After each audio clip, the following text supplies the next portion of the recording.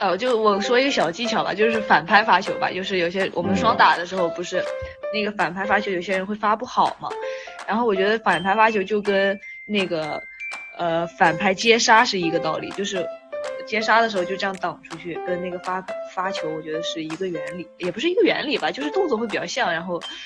就是可能这样子去尝试的话，可能效果会好一点。啊，我们还有网友说，能不能教一下在场上迷死人的技巧？那天生的，没办法，天生的没办法了。